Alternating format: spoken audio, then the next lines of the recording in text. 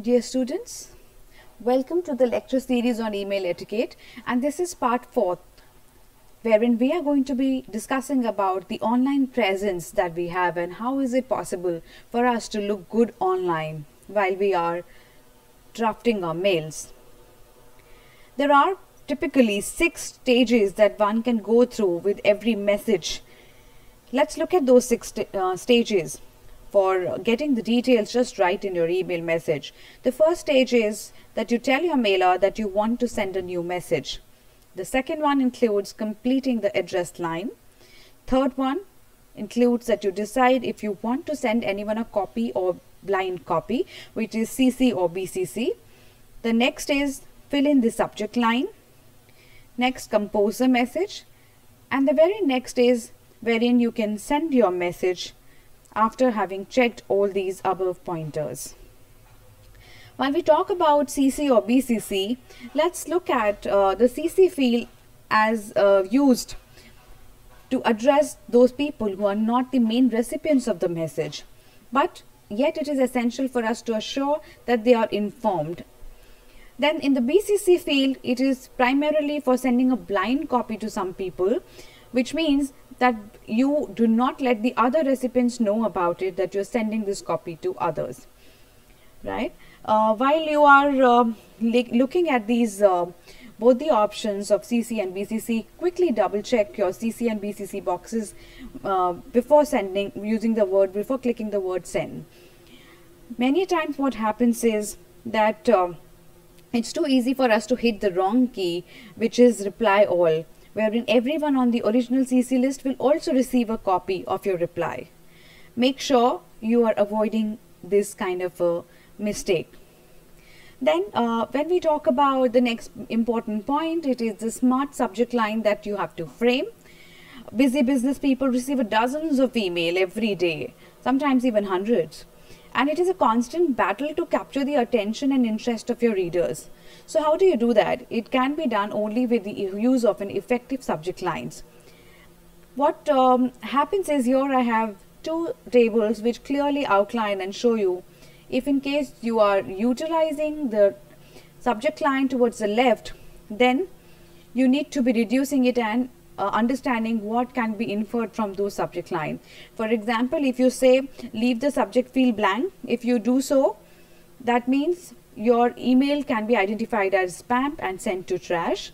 If you use a previous email to write about something new but you leave the old unrelated subject line in place it simply refers to if you insist on clicking reply to a previous email when writing about a new topic, please delete all the correspondences and type in the new subject line.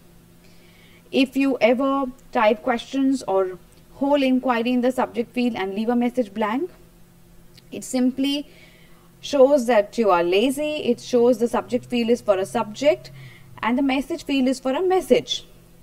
And you have not paid attention to that. Then the next and the last point is when you type a bland or vague word phrase in the subject field which doesn't make it clear what the message is about, then you know you have to look up for words like hello inquiry latest info will not do. Nothing but a clear concise subject line is the essential element here. So let's look at what can help us aim better subject lines. It includes you to be specific, which means you have to avoid being vague or generic subject lines like inquiry or information. Next is you have to be meaningful. Make sure your subject line is explicit and meaningful. For example, sending a message to a technical support team, you have to make sure that the heading has to be uh, written as help needed, which is as good as having, a, you know, sometimes uh, this might not even suffice. So you have to have make sure that you give all the very clear details right? The next is that you have to be appropriate. Keep your subject lines concise and to the point. It should be a brief summary of what the message is all about, not the exact extract from it, okay? It should be professional and fitting for the purpose. Next, your uh, subject line should be very relevant. Hit the nail on the head so that the reader is completely clear, clear about what you are writing about. The last point and most significant here is that it has to be thoughtful. Spare a thought for readers who may have 50 or more messages in their inbox. While composing a clear, concise subject line, you can help both the reader and yourself. Now let's look at certain examples of subject lines. On the left side, you have some subject lines which are which could be good and not so good, right? So, for example, the first one says uh, it, it's more specific, giving the reader clear idea about what the message is about. It says inquiry about gold membership plan. And on the right side, as you can see, that not so good inquiry would uh, subject line would include simple word inquiry. So, what is it inquiry about? You need to be mentioning it in brief. The next example is um, wherein you know you are discussing the quarterly results. So not so good example will be quarterly results while if you want a good subject line mention that it is talking about second quarter results up to by 20%. So giving a little bit of detail and very clear idea in your subject line can make all the difference in your mail. Next important point is greetings or salutations that we use in the mail. Now as you can see here in the chart towards the left, you have dear sir, dear sirs, dear madam. These are very formal greetings and you must always use yours faithfully with them. While if in case you, you know somebody in person and you can take their name and you address them by their name, for example, dear Ravi, dear Mrs. Sharma, then you use yours sincerely as the salutation, right? So uh, the rules are too formal for email messages, but it's still thought to be polite to begin with a greeting Sometimes people choose to ignore this nicely. They say it's quite clear who the message is to and from because of the automatic headers that you have in the mail.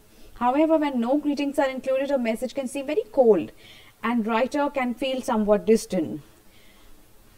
So let's look at two important reasons for including a greeting. The first one is that readers can double check that they are the intended recipient when they look at the greeting and see their own name. Second, it clarifies the context in which they are receiving the message. For example, if greeting does not bear your name, you should look at the CC list to see if that's the reason why you have received the message. Now, the way you begin your email message will also depend on various factors. First, your relationship with the recipient, how frequently you communicate with the recipient, how many recipients are there, the status of the recipient you address as your CEO or very differently from how you address your colleague in the next office your personal style and preference, your company's preferred style. Now, while you are supposed to be looking at uh, uh, the different ways in which you will be designing your email messages, you must make sure that uh, you know sometimes you could also address it to dear marketing executive, dear supervisors, or some if in case it's too informal and you're writing to a friend, you could also write like hello, hello Sally, um, hi Sam. Okay so use these wisely. Uh, then let's look at uh, ending your message wherein we are going to be um, once again there are mixed feelings about how to finish an email. Let's look at uh, appropriate closes for an email which are very very significant. One of the major popular closing that you often must have seen is uh, including the word regards. But don't expect to receive a message uh, you know always with the word regards at the ending. If it suits your personality you might find different ways and more informal messages um, uh, you know and different closings. So one could be that you may choose something like cheers. If you have been working uh, or writing to ask somebody to do something which is like an order it may be appropriate to finish it with many thanks. On some occasion a close with a little more feeling may be appropriate. Uh, so you could use best wishes all the best good luck see you soon. Some other popular closings include best yours warmly take care. You could also end with the phrases that reflect the purpose of your email in which case you really don't need to need anything else such as have a great day enjoy your weekend Happy holidays to your success. Keep up the good work. Now, moving on, let's look at uh, why is it essential that we must sign off our uh, mails. Without a sign off, recipient will have no other information about you except your email address. So, if you've included a sign off signature, then your recipient will be able to address you correctly. The next reason is that a sign off section lets your recipient know they have reached the end of your message. It is uncommon for email transmission to be interrupted. So, at least if you've signed off appropriately, you know your reader will not be left wondering, is that all? Including your job title, the name of your organization, contact detail, and telephone numbers are particularly important things wherein uh, your recipient will be able to discuss the matter with you verbally in case need be. Make sure that while you are entering these details and mentioning them in your email, you have revised your signature and details, checked your details to ensure that everything is up to date. On your right hand side of the presentation, you see that there are two examples. One is the example at the top of detail signature, which includes your company's logo, address, and other details uh, with regard to your company's website uh, and your own profile, links, the other is the shorter version of it, wherein if in case you want to use it for personal contact details and the website address, that could be mentioned. So please assure that your signatures, signing off um, the mail is done properly. Now, sometimes you find that uh, there are disclaimers and confidentiality clauses that are attached in the email. When we talk about uh, disclaimers and uh, confidentiality clauses, it is a matter that must be considered by companies individually. From a legal point of view, it may be advisable to do so. Some companies have different point of view. It may be, uh, you know, for internal or external messages and what may begin as an internal message may be copied externally. That is where uh, we must consider composing the disclaimer notices. There are certain examples here as you can see of the disclaimer notices on the screen. Please go through them that will help you understand that how disclaimers are becoming more and more complex. But make sure that you keep in mind that legally they offer only limited protection no matter how long and complicated they are. Then the next significant thing that we have in the email is attachment. One of the most useful features of email uh, is to your ability to attach the files which includes word documents jpeg encoded images photoshop files excel spreadsheets powerpoint presentations audiovisual files data files. And that way what you can do is you can save all the information in the electro electronic version of it. So while you're working on it make sure that you have certain checkpoints which include that you remember to attach the file. Your reader has the software that is compatible with yours the attachment does not contain a virus. Very significant point. While you are uh, sending an attachment, bear in mind that it may lose some of its format when viewed by your recipient. And it happens uh, numerous times. So what you could do is download the large file sometimes, uh, you know, in the format which is, uh, which could actually be zipped file, okay, WinZip or StuffIt these are two automatically compressors compresses files. It these softwares help you and the recipient will be able to decompress the file at the other end. Uh, then post the attachment uh, an alternative to attaching the files to email is to post the file on intranet servers and tell your recipient where the file can be found.